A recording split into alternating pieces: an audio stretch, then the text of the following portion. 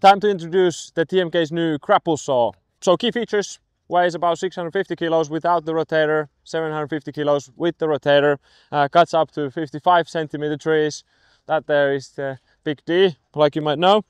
But basically this is quite plug and play system. We utilize the TMK's wireless system, which is run with Makita or Milwaukee drill batteries. So you just plug here the normal drill battery. This one is with Makita legs.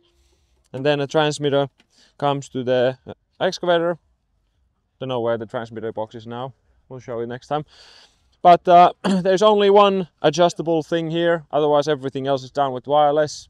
You need at least one double acting hydraulic line and one case drain to operate the saw.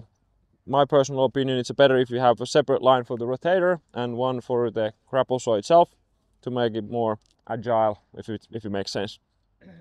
And the little differences, oh here we have the wireless stuff. So I'll, I'll show the wireless.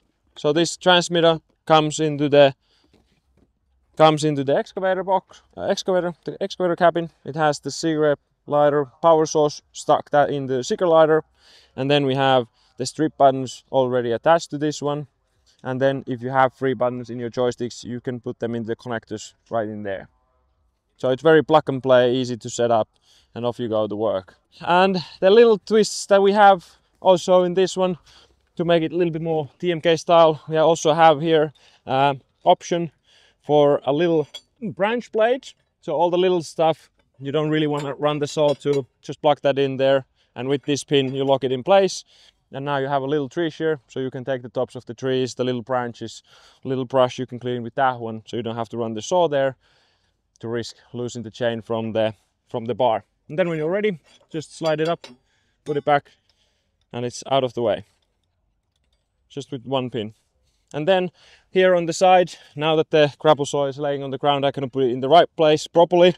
But here you can put the splitting blade and now you can work it as an axe. So if you want to make firewood, you can just saw them in the right size, right length, and then just split it right away, save some axe work. And then when you're ready, this is the normal transport position is to put it here like this, locked with a, just one bolt and ready to go. Or you can put it also back here if you wish to like ha have it like that. Automatic chain lubrication, uh, hydraulic chain tensioning. What else? I think that's the most important bits. Hardox 400 frame, 500 all the grapples and most important bits. So it's built to work, quite heavy duty. The strong saw cassette box to make sure that the saw stays safe and a good heel on the back here to help move the excavator around. So rather robust sturdy, simple to use, simple to set up grapple saw for the market. This is now in pilot phase, so we're looking to get more work under the belt for this model as well to find the little tweaks that we want to do tweaking on.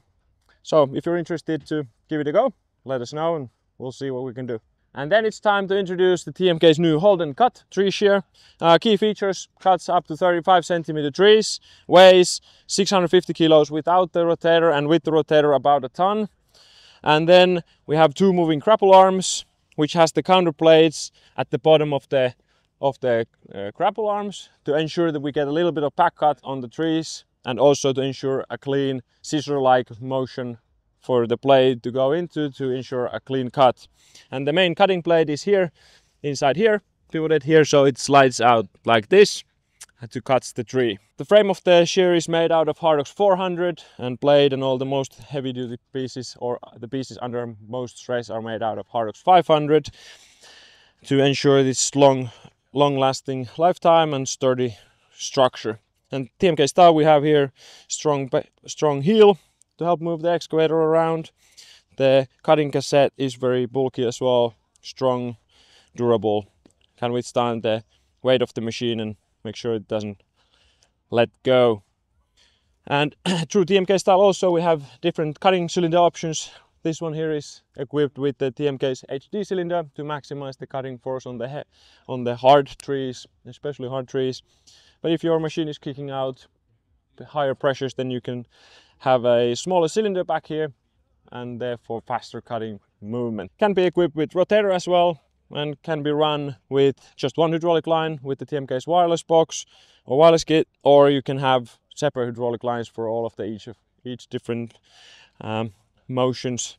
So, so there's a lot of tailorability that we can do. Yeah, I think that's the most important things. If you're interested in about the Hold & Cut, it's now published and it started the pilot phase. So we're looking for customers who are really putting it into work to provide some feedback. So if you're really interested, give us a give us a call or contact us through the website, work forms, or smoke signals, or whatever suits you best. And let's see if we can come into agreement.